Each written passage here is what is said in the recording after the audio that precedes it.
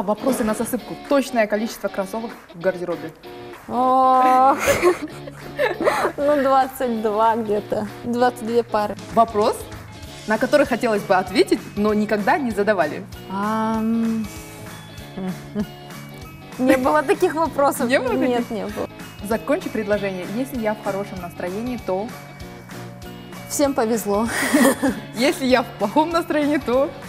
то я останусь дома. Если бы ты поймала золотую рыбку, три желания, которые бы ты загадала. А, Вечную жизнь, а, чтобы близкие были в достатке, ну, имеется в виду со мной.